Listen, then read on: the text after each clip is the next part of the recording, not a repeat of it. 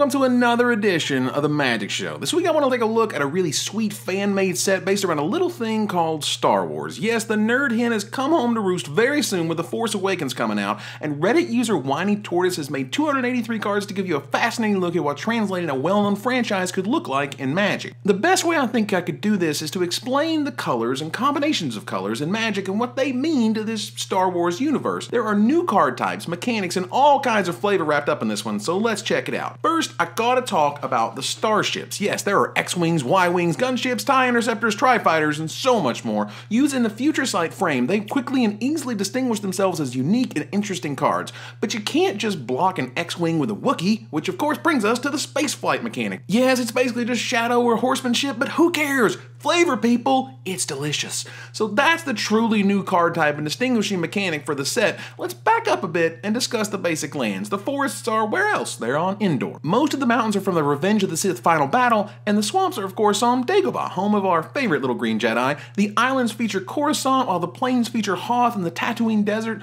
but it is the non-basic lands and some common artifacts that really detail where the factions, races, and loyalties lie. What we know as Bant represent the Jedi. The Jedi Enclave and Jedi Holocron define green, white, and blue will represent the positive side of the Force. The Tri-Fetch land is pretty damn spiffy if you ask me. There's also the Jedi Temple, and this unique cycle has a really sweet enter the battlefield mana and tabbing for other colors later, a unique design that I wouldn't be surprised if it shows up in an actual Magic set in the future. The Jedi mechanic is Meditate, as showcased so clearly on a Jedi Knight. I also love the payoff cards like Jedi Training that is very specific to the faction and benefits it so clearly, or cards like Plo Koon who make the mechanic go from good to amazing. There are Jedi in all three colors of course, but it is the tricolor that hold the classic characters like Obi-Wan. And check out Princess Leia. N no, I mean the card guys. God. Whatever, she is 6 mana for basically a 5-5 that makes 3 2-2s along with pumping many of the creatures you already have in player. That's like that's like Grave Titan stats, people, or better. It's awesome. And is there Luke Skywalker? Of course, there's Luke Skywalker. Super cool design, protects himself and gets really scary really fast. There's Qui Gon Jinn, who is sweet, but Mace Windu, far sweeter. This badass Venser like Jedi can meditate himself back to your hand for additional shenanigans. Can you show your Force mastery? I know I want to. Each faction has their own Planeswalker, and the Jedi's is who else? Yoda. Jedi Master is a BA with appropriate BA like stats that meshes well with so many enters the battlefield triggers. But I'm nowhere near done with the Jedi. Each faction gets its own modal spell, and for the Jedi, it is the wisdom of the Jedi. Of course, you could also just perform a Jedi mind trick and Man, is that thing flavorful. I love it. And spaceships, there's the X-Wing and Y-Wing, but hell yeah, there's the Jedi Starfighter being totally awesome and picking up a creature to ride in it until end of turn. And there's a hybrid in the form of N1 Starfighter, and holy crap, the Naboo Royal Starship is insanely powerful. Five mana, almost unblockable with a Thieving Magpie ability? That's what I'm talking about. And wow, Bombing Run? Talk about your flavor home runs. This spell is so incredibly sweet and resonates like few others. But what would you imagine a legendary Bant-colored spaceship would be? Or look like. Hell it's the Millennium Falcon, a card that just goes nuts with all of your Jedi and entering the battlefield triggers. Esper in Magic is known for artifacts, and in this set it represents the droids and the Trade Federation. The Droid Factory and Separatist Holocron both produce blue, black, and white along with the Droid Factory. The droid mechanic is repair, kind of like a reverse suspend, it just ensures that the stupid droids never stop coming. They're coming for you, bro endlessly. We got security droids and probe droids, droid commandos, droideka, and the maintenance droid is a fantastic payoff as it punishes your opponent while you wait for your droids to return. Don't want to pay for them again when the time comes? Well, why not get them back instantly with March of the Droids? The big flavor win for the droids is who else? The two most iconic, R2 and C3PO, are fantastic. You want to just get them in harm's way and they will reward you for it awesome. Even the Jawas joined the fun with cards like Salvage Squad. The faction Sweet Starship, why, it's the Trade Federation battleship no less, and check out that tank droid. Attacks, blocks, or dies, love it. And you gotta dig the sweet legendary creatures associated with them, like Nute Gunray and Watto. Their modal spell, Unity of the Droids, gets rid of those pesky non-artifact creatures, and their planeswalker, Count Dooku, fits right into their strategy of getting all the droids out there by sacrificing artifacts which are most likely other droids. Lastly, they get the badassian General Grievous being generally grievous. As you do. The Jund colors of green, black, and red are represented by the bounty hunters of Star Wars. They hang out in underworld slums and in Jabba's palace while using the outlaw holocron to produce colors of mana that represent them. Their mechanic is bounty, which are triggered abilities that fire when a creature with a bounty counter on it dies. This is super cool and flavorful as suddenly having a bounty on your head is very relevant. Fulfill Contract gives you both of these in one. You can mark and then kill a creature, getting bounty bonuses as a result. Cards like Private Contract and Acquire Target help it along, and check out the sweet flavor of Hutt Crime Lord. There's already a bounty on his head. That's awesome. While there aren't a ton of creatures with the mechanic, they got plenty of non-creature spells that feature it. Check out Scout the Perimeter to both rampant growth and mark someone for death. The Bounty Hunter's modal spell is one of the strongest. Ferocity of the Underworld gives you the option of an instant regrowth, abrupt decay, or fork. That's what I'm talking about. Their big payoff spell is Hunt to Extinction, and man, is it awesome. Order 66 is a pretty fantastic Plague Wind variant, and we got all the legendary bounty hunters. There's Bossk, Jango Fett, Salacious B. Crumb, and who shot first again? There's Greedo. But the ultimate bounty hunter is, of course, Boba Fett, and no Boba Fett would be complete without Slave 1. Their planeswalker is none other than Jabba the freaking Hutt, who gains loyalty not only from his ability, but also when a creature with a bounty counter dies. Counters he's happily giving out now. Naya, as we know it, is green, white, and red, and it represents the beasts, Wookiees, and Ewoks of Star Wars.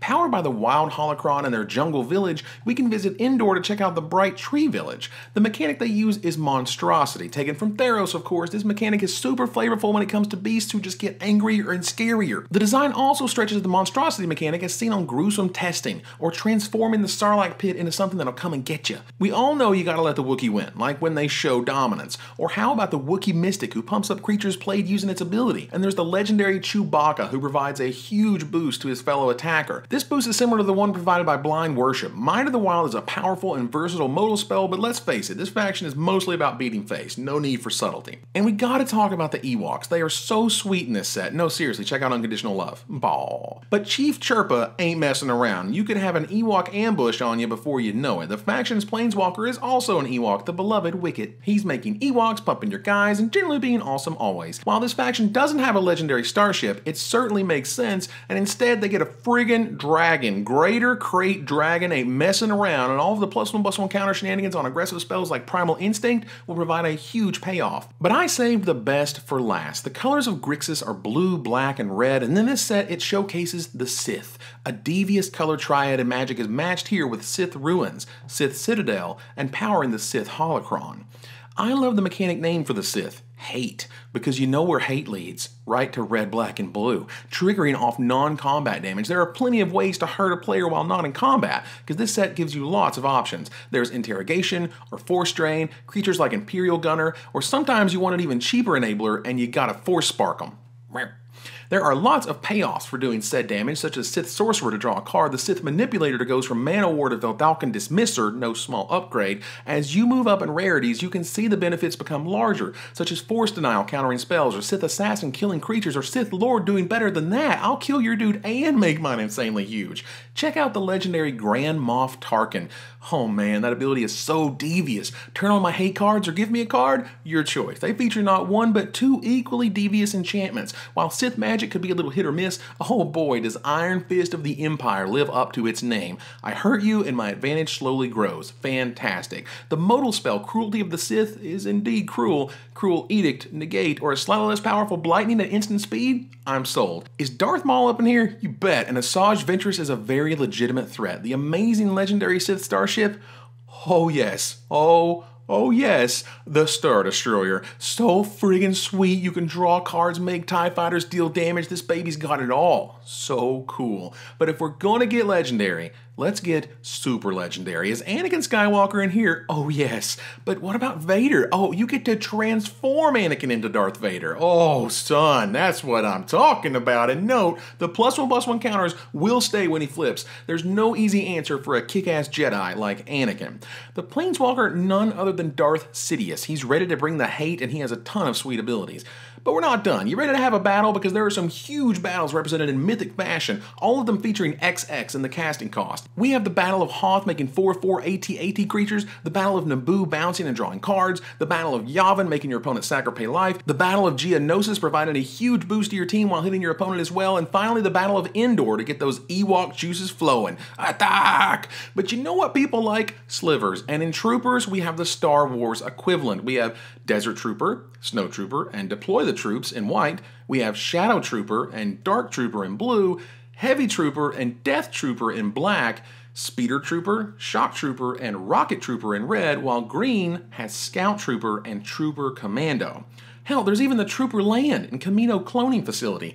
And just like Slivers, they have their Sliver Queen. Well, what do the Troopers got? Why, it's Commander Cody. Oh boy, this guy gives quite the payoff for all his colors of mana cost, and it's hard to imagine losing after he hits the table with almost any other Troopers alongside. But one of the hallmarks of a good fan set is not trying to reinvent the friggin' wheel all the time. There are reprints in this set, and I love them. We have Arrest in white, Preordain in blue, Doomblade in black, Lightning Bolt and Smash to Smithereens in red, and Explore and Predator Strike in green. And we even got a land too, with Rogue's Passage just working out perfectly. And how Sith is Cruel Ultimatum? Survey says, very Sith. We'll close out the show with some flavor home runs, and one that was so good, so satisfying, it compelled me to make this episode in the first place. First, the equipment. Hell yeah, there's a lightsaber, and even a double bladed lightsaber. Check out the flavor of Moisture Farm, who grows as you play another land that it seeps the moisture out of. And how perfect is Jar Jar Binks? Everybody hates him, so here, you take this dork. He does nothing but mess you up. That is awesome. Shmi Skywalker is one of the best. She has to die and is replaced with the Tusken Raiders that killed her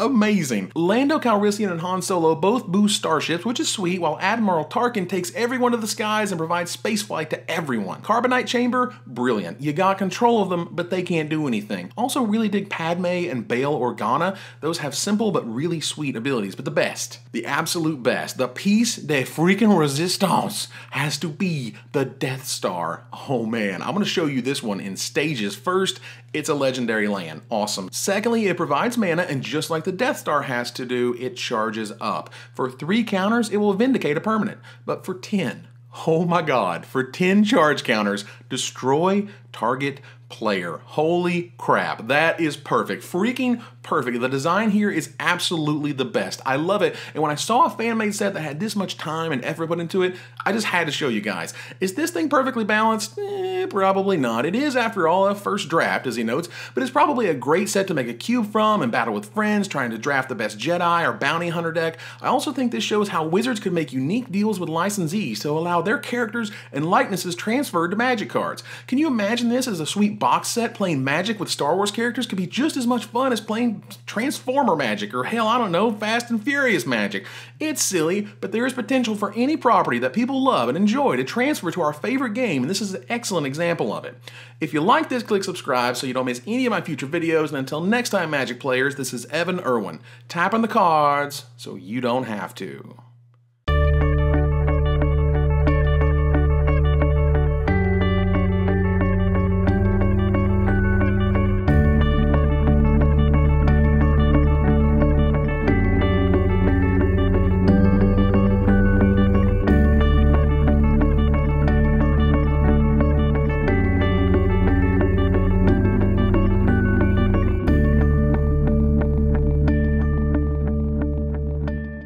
Always like the fatties.